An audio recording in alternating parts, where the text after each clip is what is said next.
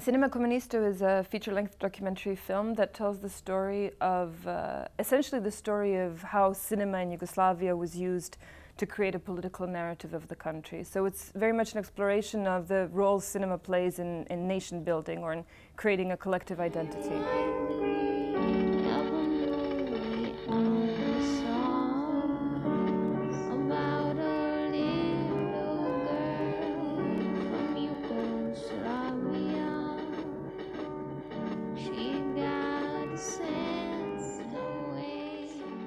The story is told through basically the fortune and misfortune of uh, the National Film Studios, which were built uh, during communism, so at the beginning of Tito's reign.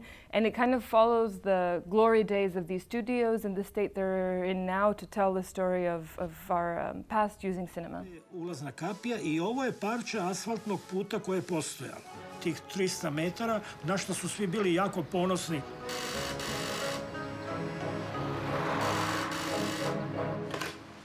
Dobar dan, Dobar dan iz Ote, šta vam treba? Momene, budite na vezi. It's quite well known in, in the former Yugoslavia that Tito loved cinema. But what wasn't really that well known to me, and it's something that I very much discovered going into the archives and going through his personal files, is how much he was not only involved in watching films, but also in, in the actual production of films. One of the central characters in Cinema Komunisto is uh, the man who was Tito's private projectionist for 32 years, so one of the longest serving members of Tito's personal staff. And um, this man basically showed him a film almost every single night. There is actual evidence of the fact that in these 32 years, Tito saw a total of 8,801 films, which is an extraordinary number of films.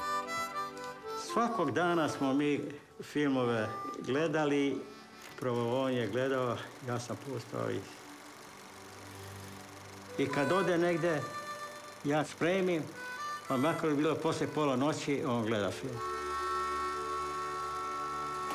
The central film studios of Yugoslavia, which were called Avala Film Studios, are located in uh, very much the city center of Belgrade up on a hill. And they were one of the first things that was created after the Second World War. There's a document that you see in the film signed by Tito that sets up the film studios. So he was very much involved from the very beginning. And these studios were quite extraordinary in that a connection with Hollywood was established very quickly.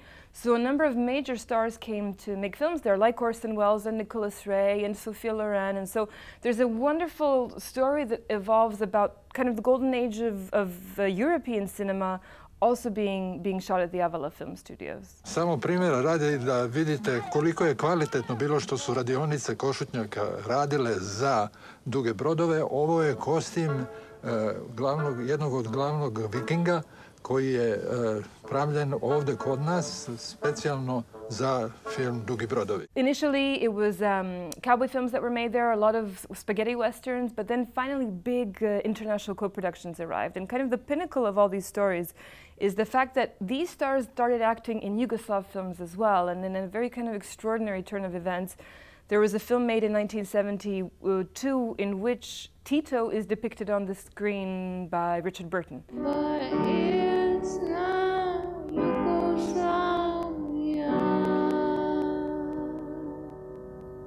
Was born a year before Tito died, so very much in, the, in this period of great political transition.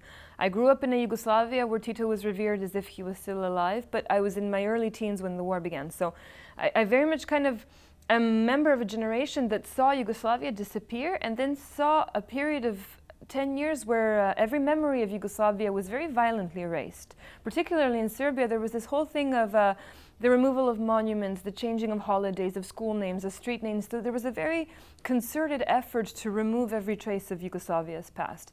Um, and I kind of feel that my generation's role will be in reopening that debate. And for me, making Cinema Komunisto was very much an attempt at starting a conversation, mostly a conversation about what kind of future do we have if we're so we're so insistent on erasing our past? So I think we have a right to analyze Yugoslavia, and analyze it from a dispassionate point of view, something that our parents' generation has certainly never been able to do. But to look at the pros and the cons and, and to come to a, a, our own feeling of what Yugoslavia was. Was it a big political mistake? Was it an illusion? Was it a country that should have had a future? So these are things that are popping up in a lot of young filmmakers' um, you know, interests right now.